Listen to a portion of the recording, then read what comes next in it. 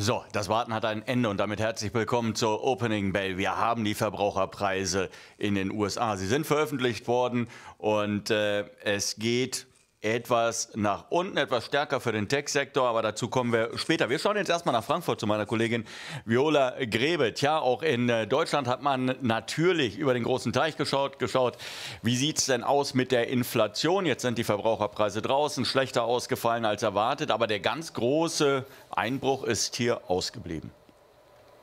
Ja, moin aus Frankfurt. Und genau das lässt sich über den DAX auch sagen. Der ist zwar ein bisschen unentschlossen, aber jetzt auch keineswegs eben eingebrochen. Es gab die Verbraucherpreise aus den USA heute Morgen schon die für Deutschland, also die endgültigen für den Oktober. Und ja, 4,5 Prozent plus im Vergleich zum Vorjahr, das hatte sich ja schon so angedeutet. Dementsprechend die Inflation ist auch bei uns weiterhin hoch. In den USA haben wir die Zahlen auch gerade gesehen. Es bleibt einfach spannend, was es geldpolitisch bedeutet. Ansonsten geht die Berichtssaison weiter und wir sehen, für den DAX geht es gerade runter um 0,1 Prozent.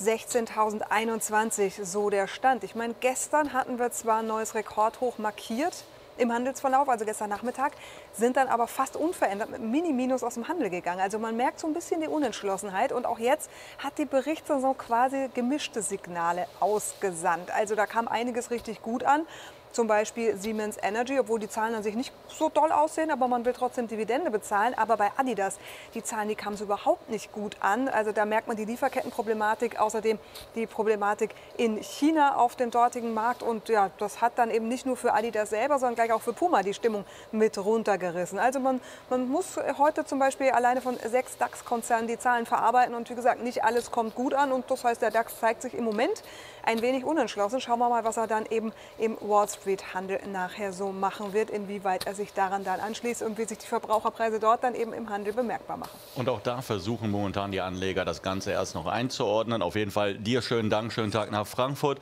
Und wir schauen uns jetzt mal die Futures an. Und wenn ich da oben schon äh, die äh, Schlagzeile lese, ja, von wegen Inflationsängste, äh, nachdem die Verbraucherpreise gestiegen sind, dann äh, weiß ich nicht, was dann irgendwann rauskommt, wenn tatsächlich mal die Börsen nach unten laufen, weil wir sehen hier momentan eine Minus im Dow Future von puh, minus 0,18. Inflationssorgen sehen anders aus. Inflationssorgen würden auch die Renditen anschieben, was nicht passiert. Und äh, Tja, im Technologiesektor, da geht es etwas stärker nach unten, aber jetzt mittlerweile auch schon wieder mit angezogener Handbremse. Also es scheint eher momentan aus momentaner Sicht ein man hat so etwas Ähnliches schon erwartet und es ist nicht so schlecht ausgefallen, äh, wie erwartet oder wie befürchtet. Ähm, Moment, so sieht es momentan für mich jedenfalls aus. Also Verbraucherpreise mit einer Jahresrate 6,2 Prozent ging es nach oben, geht es hier nach oben. Erwartet worden waren 5,8 Prozent und Core, also die Kernrate letztendlich bei äh, 4, nein, 9, Sehen Sie, da kann ich selbst mein eigenes Geschmier nicht mehr lesen. 5,6 würde ich jetzt äh, behaupten, aber das werde ich nachher nochmal nachreichen. Das Wichtige war ohnehin für die Privathaushalte. So, jetzt schauen wir uns äh, die ganze Geschichte mal äh, einzeln an. Der Bitcoin momentan wieder auf Konsolidierungskurs, hatten wir heute Morgen schon mit dabei. Was heißt Konsolidierung? Wenn da zwei Tage in Folge, wir kleben ja, wir kleben ja regelrecht unter dem Allzeithoch und momentan sieht es eben nicht danach aus, dass wir hier großartigen Abwärtsdruck sehen werden. Aber ohnehin wichtiger sind ja dann immer die Werte, die davon indirekt irgendwie auch ähm, betroffen sind von den Bewegungen. Das ist natürlich Coinbase. Sie haben jetzt auch noch Zahlen gemeldet. Zuvor war eben angenommen worden, dass sie sehr gute Quartalszahlen melden würden. Das ist nicht passiert im dritten Quartal. Wie gesagt, Umsatz und Ergebnis unter den Erwartungen. Und äh, hinzu kam, äh, dass auch noch im Quartalsvergleich äh, die Zahl der Kunden, der aktiven Kunden zurückgegangen ist. Wenn man das Ganze jetzt auf Vorjahresbasis sieht, dann ähm, hatten wir natürlich einen ordentlichen Zuwachs in allen äh, Bereichen. Das Wichtige, ich habe heute Morgen schon darauf hingewiesen, ist, der Anstieg im Bitcoin kam erst nach also im Wesentlichen nach Abschluss des äh, letzten Quartals bei Coinbase, so dass man, wenn sich der Bitcoin da oben hält, davon ausgehen kann, naja, wenn der Bitcoin gestiegen ist, dürften, vom, dürften vermutlich weitere ähm, Kunden an die Plattform gekommen sein und dann dürften auch die Erlöse gestiegen sein. Aber das ist etwas, womit wir uns dann vermutlich in den kommenden Wochen irgendwann beschäftigen werden, wenn es dann nämlich in Richtung Q4-Zahlen gehen wird. Amazon ist für uns momentan kein großes Thema. Die Aktie weiterhin in diesem Bereich, den wir schon häufiger festgestellt hatten, entweder so 3200 ist ja das knapp darunter spielt sich die ganze Veranstaltung momentan ab, seit Juni mehr oder weniger. Und dann in dem Bereich ja, bis 3600 etwa.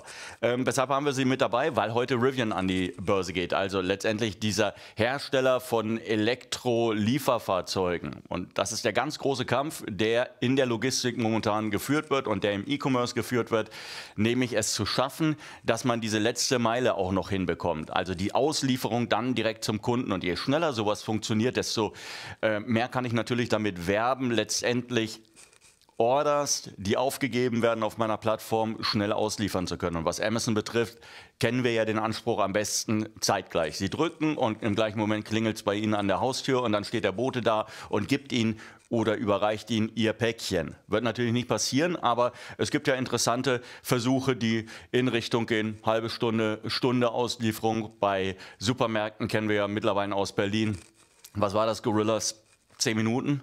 Irgendwo in dem Dreh. Also ähm, ich kann mir auch nicht vorstellen, wie man das unter diesen Bedingungen als Bote arbeiten möchte, weil man ja dauernd unter Zeitdruck, unter enormem Zeitdruck steht. Aber es ist halt momentan Zeitgeist, alles muss sofort befriedigt werden, diese Bedürfnisse, und da geht es in die Richtung. Ich will das auch gar nicht kritisieren, sondern ich will eher darauf hin, Rivian wird auf jeden Fall äh, hoch bepreist werden. Das Unternehmen, wenn es an die Börse kommt, äh, ist direkt etwa im Bereich um 66 Milliarden Dollar schwer, zu 78 Dollar äh, die Aktie. Also es könnte noch einen richtig ordentlichen Punch nach oben dann geben. Und relevant ist es natürlich, weil Amazon an denen beteiligt ist. Also da kann man dann tatsächlich auch mal sagen, aha, die haben da, das ist natürlich eine strategische Beteiligung, das werden die jetzt nicht loskloppen, nur weil die Aktie ein bisschen steigt, sondern sie werden natürlich äh, schauen, dass sie das für ihre für ihr operatives Geschäft letztendlich nutzen und auch ihren Einfluss nutzen können.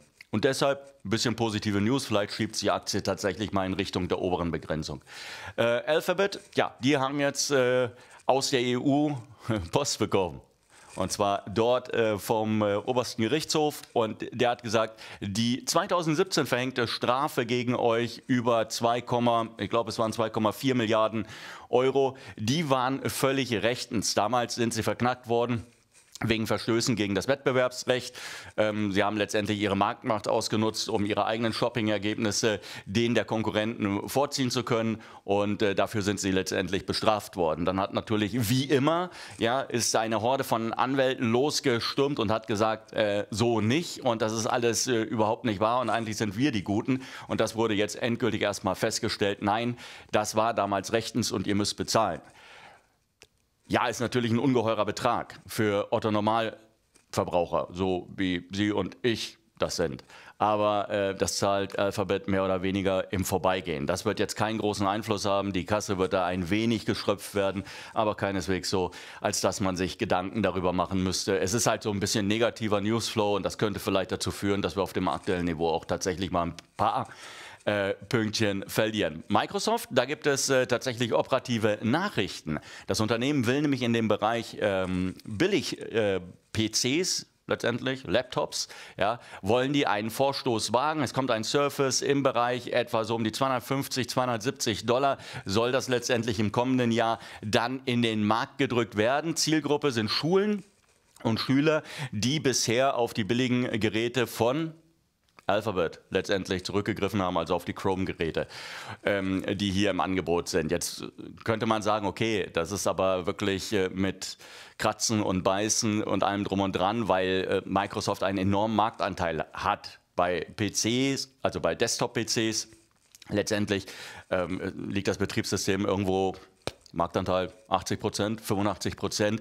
Aber man sieht, sie nehmen die Konkurrenz durchaus ernst und sie wollen sich auch hier gerade vor allen Dingen im, im, in dem preissensitiven Bereich, also in dem unteren Bereich, da wollen sie sich nicht die Butter vom Brot nehmen lassen durch irgendeine Konkurrenz, die sie vielleicht zuerst nicht ernst genommen haben. Und da wird jetzt gleich Vollgas gegeben. Also es wird dann eine billigere ähm, OS-Version geben und äh, die Hardware eben auch kostengünstig, so dass man da tatsächlich dann auch ohne große Bedenken zugreifen kann. Eigentlich ganz interessant, weil zuletzt lief es für den Konzern ja operativ wie geschnitten Brot. Die Hardware verkauft sich blendend und äh, was das Cloud-Geschäft äh, betrifft, auch hier nur gute Nachrichten und die Aktie weiterhin auf Rekordjagd. Tesla zuletzt unter Druck geraten. Haben wir jetzt auch schon mehrfach gehabt. Das ist jetzt keine große Überraschung gewesen.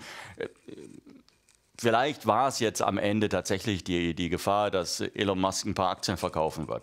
Aber wenn Sie sich doch den Kursverlauf mal anschauen und wenn Sie sich auch immer anschauen, nicht nur schauen, der Kurs ist um 400 Dollar meinetwegen gestiegen oder um 450 Dollar, sondern Sie müssen sich anschauen, was bedeutet denn das? Um wie viel hat sich denn jetzt das, der Unternehmenswert letztendlich verändert? Wie lange müsste Tesla Autos bauen? Wie viel müssten mehr verkauft werden, damit sie das irgendwann auch tatsächlich mal rechtfertigen können? Also und zwar ein bisschen mehr als nur diese Fantasieschlösser, die irgendwo aufgebaut werden und Wunschdenken. Und deshalb glaube ich, dass es auch keine so große Rolle spielt, ob das jetzt die Nachricht gewesen wäre oder es hätte vielleicht geheißen, äh, Elon Musk sah heute Morgen ein bisschen müde aus, vielleicht ist er krank geworden, was um Gottes Willen, was ich ihm überhaupt nicht wünsche. Aber ich glaube, dass es einfach Zeit war, nach diesem massiven Anstieg, dass es da auch mal Luft abgelassen wird und deshalb völlig normale Bewegung, auch in der Größenordnung für mich. Twitter ähm, ja, die Zahlen waren äh, mies und äh, letzten Endes haben sie jetzt aber einen Plan. Und einer, äh, der, dieser Plan sieht unter anderem vor, dass sie ganz gerne auch an diesem Abo, an dieser Abo-Ökonomie teilhaben wollen. Das, was so viele Unternehmen so erfolgreich machen, das will, jetzt eben auch Twitter umsetzen. Jetzt gibt es einen neuen Abo-Dienst, der kostet wirklich kleines Geld, 2,99 Dollar pro Monat in ausgewählten Märkten USA erstmal.